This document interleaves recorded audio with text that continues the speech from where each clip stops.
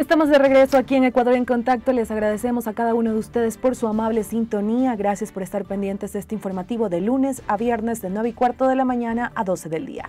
Y en estos momentos vamos a mantener un diálogo con nuestro invitado Santiago Benavides. Él es licenciado de profesión y es presidente de la organización Forums Formación Humana. Señor Benavides, ¿cómo está? Buenos días. Bienvenido a Corape. Muy buenos días. Muchas gracias por la invitación. Un saludo cordial a todos los radioescuchas.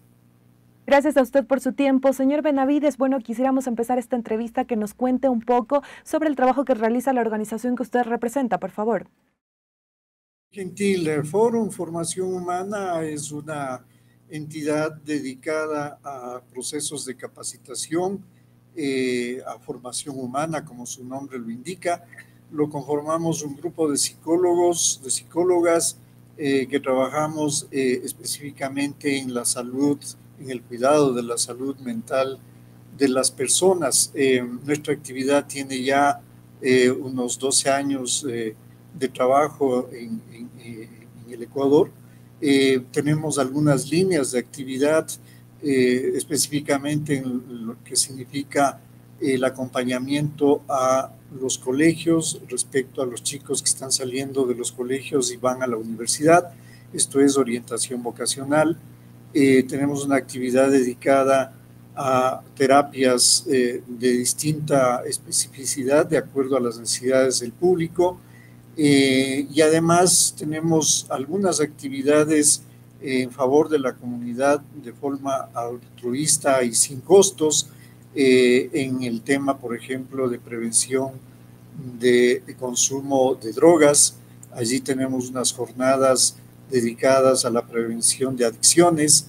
Eh, tenemos esta actividad de orientadores vocacionales en colegios que también lo hacemos de forma gratuita y también trabajamos con adultos mayores en eh, este aspecto de cuidar la salud de los cuidadores. Los adultos mayores con normalidad requieren en algún momento de su última etapa de vida el cuidado mm, especializado y en la generalidad en el Ecuador y en el mundo como un fenómeno social, pues son los mismos familiares quienes trabajan haciendo esa gran labor de cuidar a sus parientes, a sus familias.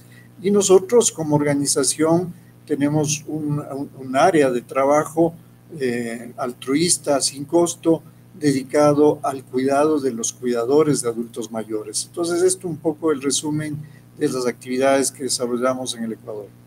Señor Benavides, y bueno, usted ya nos ha contado un poco acerca del trabajo que realizan y quisiera consultarle, dentro de este trabajo que enfocan hacia los jóvenes, hacia los estudiantes con el tema de la orientación vocacional, cómo es el trabajo, cuántos psicólogos, cuántos profesionales trabajan y también a qué desafíos se han encontrado.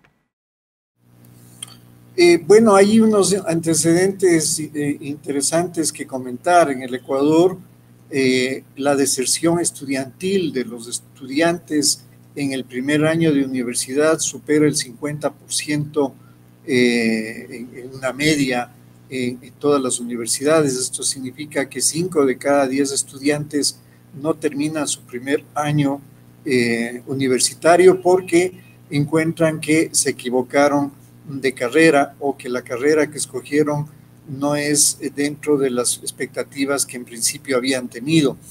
Eh, esto significa que para el recurso económico del Estado eh, se ha invertido, se mal invirtió en esos muchachos que desiertan porque efectivamente se invirtió un recurso allí. Y aquellas personas que van a la universidad privada, pues los padres de familia tienen que volver a invertir eh, un recurso mientras ese joven vuelve a definir cuál es la orientación que tiene para escoger una carrera. Esto eh, nos ha llevado a, hay unos estudios hechos en el país eh, donde efectivamente las causas de esa deserción, una de ellas es una deficiente desorientación vocacional en los jóvenes. Y entonces no es un tema que es muy conocido, eh, en la sociedad. Es un tema que cada uno de los padres de familia terminamos eh, encontrándonos y sufriendo el proceso de transferencia de los jóvenes a la universidad. Y en esta versión, pues lo que nosotros hacemos es complementar el trabajo que hacen los departamentos de eh, orientación, de asesoría vocacional en, los colegios, que no llevan en realidad un componente específico respecto a, ayudarle al chico a la escogencia de su nueva etapa de vida. y es eso, en realidad, no es tan importante para el joven saber qué va a estudiar, sino saber si está claro en sus cualidades, en sus características como ser humano eh, y tomar una decisión de cuál va a ser su, futuro eh, en la siguiente etapa de vida. Y a eso nosotros nos dedicamos en colegios dando las charlas necesarias eh, con la finalidad de, de sembrar las reflexiones para que los jóvenes hagan una buena tarea antes de tomar una decisión de definir qué carrera escoger. Señor Benavides, y también consultarle dentro de otro de sus ejes de trabajo, usted mencionó el acompañamiento o en este caso el trabajo que realizan sobre el consumo de drogas. ¿Cómo ha sido también este proceso? ¿Hacia dónde llevan esta iniciativa? ¿Desde dónde la trabajan? Es otro de los eh, problemas eh, sociales eh, que tenemos en el país, el consumo de drogas va creciendo cada año. somos un país que ya no somos solo tránsito de, exportación de drogas, sino también de siembra y consumo.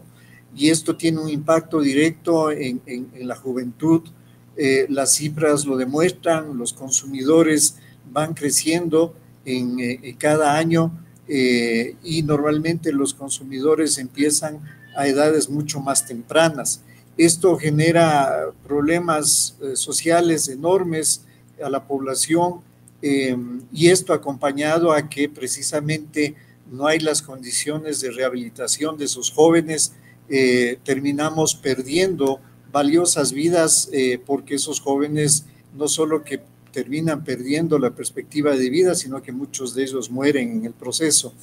Siendo esta la, la, crisis en la que vivimos, nosotros como organización eh, queremos aportar a la sociedad desde nuestra perspectiva de de profesionales del cuidado de la salud mental y entonces hemos eh, trabajado eh, con los colegios que eh, nos han permitido llevar el mensaje de prevención. ¿Y cómo lo hacemos? Pues nos hemos aliado con instituciones privadas, con hospitales, con clínicas y en conjunto hemos llevado un mensaje de prevención a los jóvenes con unas charlas, con unas discusiones, con unos foros amplios en el colegio para hablar respecto a prevención de consumo eh, o de adicciones en general.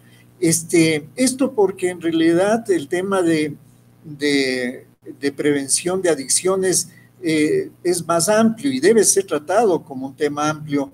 Las adicciones, eh, una de ellas pueden ser las drogas duras, los estupefacientes, pero también hay otro tipo de, adicciones, por ejemplo, la adicción a la comida, la adicción al celular, la adicción a una relación tóxica. Hay muchas variantes respecto a lo que significa la adicción en el ser humano.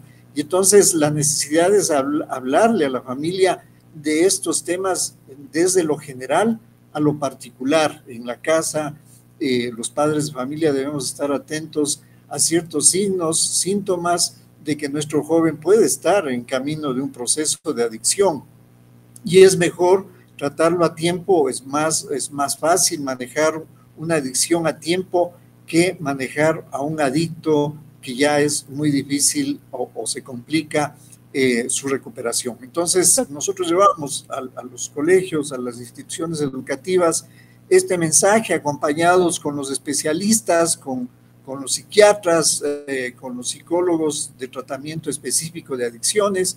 Eh, y en estas jornadas, pues, hacemos esta reflexión con los padres de familia.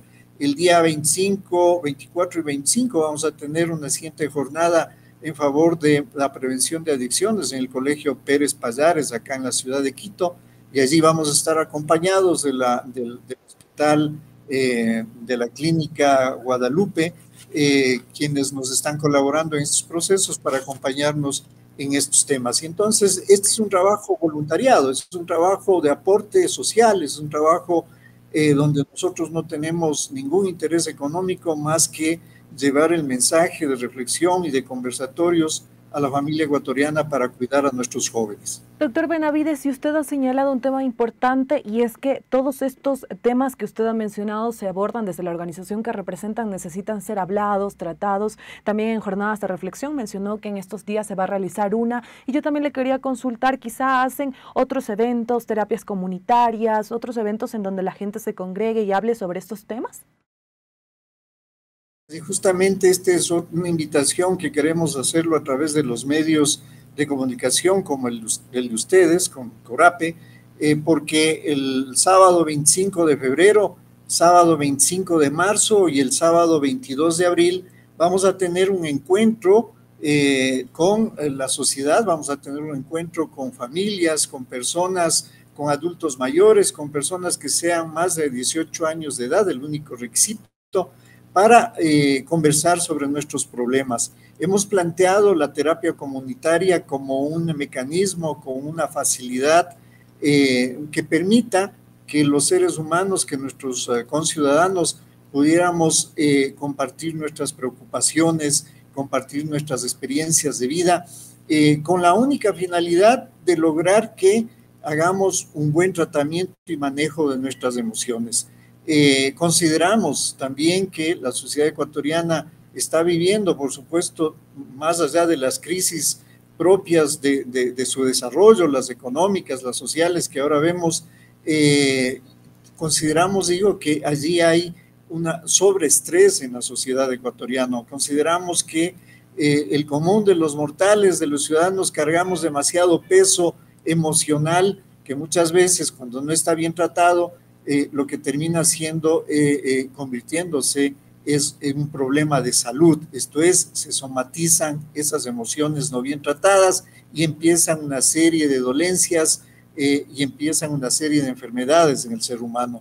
La propuesta que hacemos a través de la terapia comunitaria es desarrollar unos encuentros donde vamos a conversar sobre esa cotidianidad y donde vamos a permitirle al ciudadano que comparta sus preocupaciones para empezar a tratar esas emociones represadas. Es una práctica de salud eh, pública que se viene desarrollando en muchos países de América Latina. En Brasil eh, tiene una práctica de 35 y más años en la terapia comunitaria sistémica eh, y se lo hace a través de todo el sistema público de salud.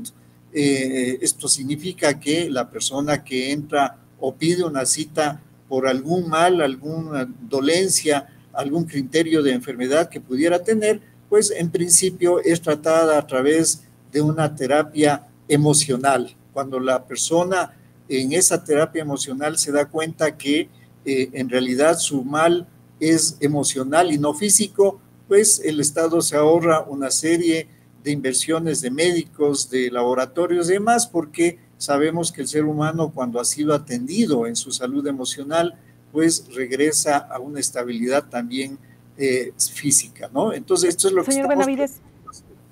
Señor Benavides, perdón, usted ha mencionado que se van a realizar unas terapias comunitarias y yo también consultarle. Eh, quizá tienen un tipo de edad a donde las, eh, de, las cuales las personas deben acudir, un promedio de edad, tiene algún costo esta terapia, también para que la gente que nos está escuchando pues sepa y pueda acercarse y unirse.